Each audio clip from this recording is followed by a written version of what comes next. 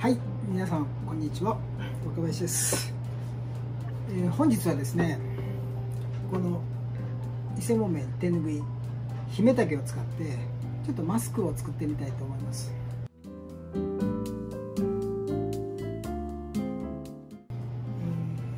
やって広げますね。で3分の1に折ります。まあ大体ゴムなんですけどまあどんなゴムでもいいです。これはあの靴下工場にあるもんで本来靴下作った時にこう出てくる捨てられるもんなんですけどこれちょっと有効利用しようと思ってもらいました。何でもいいんですね。これをこう入れましてで大体3分の1ぐらいのところでゴムを入れてくださいね。こっちも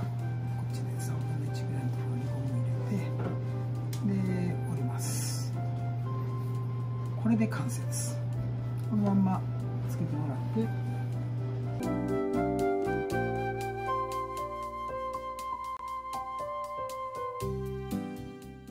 すぐにできるんでよかったら試してみてください。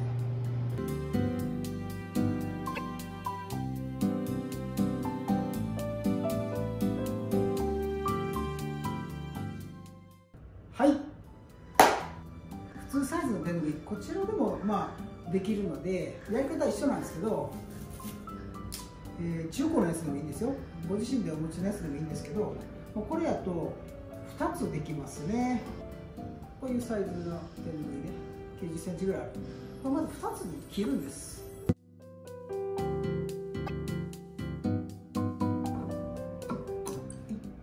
でえー、姫竹同様3分の1ずつ。ってみましょうと。ですね。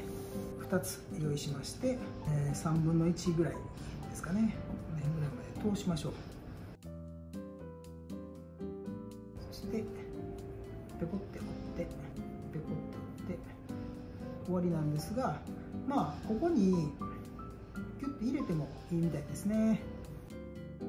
これで完成です。いかがですか？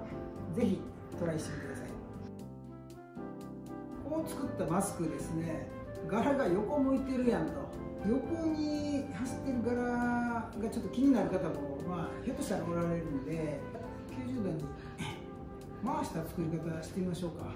こういきましょうね。縦にしてこれをじゃあ半分に折ってさらに半分に折ってくださいね。あとはさっきと一緒で、えー、3分の1よりもちょっと広めにちょっと生地幅が違うんでね。であとはこっちでポンポンと折ってもらいたいんですが 少し距離が生地の距離が短いんでコツがいるかもしれませんね。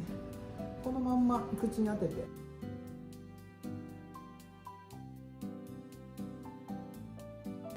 取り外しの際だけちょっと気をつければあの大丈夫かなと思います。